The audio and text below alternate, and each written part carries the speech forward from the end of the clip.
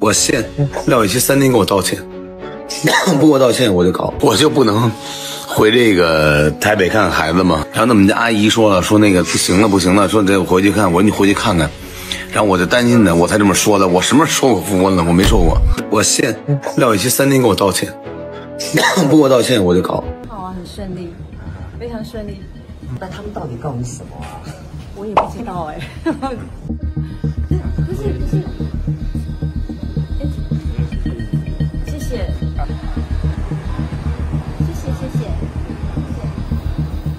汪小菲提高大 S 经纪人了，要把之前受的委屈都还回去。十一月十五日，此案在台北开庭，但汪小菲正好从台北回北京了，只有大 S 的经纪人出庭。面对记者的采访，大 S 的经纪人廖伟奇面露尬笑，虽然装作轻松姿态，但言语间暴露出急躁嘲讽的意味。他直言来这里一切都很顺利，对方告他什么他都不知道，看起来没把汪小菲放眼里。许多人都说汪小菲和大 S 告来告去已经够抓马了，怎么还告经纪人了？事实上，前不久汪小菲就在直播间给出了答案，他多次强调这个经纪人操控大 S。挑拨两个人的关系等等，如今大 S 已经一年没有露面，其中到底有何不为人知的故事呢？欢迎大家讨论。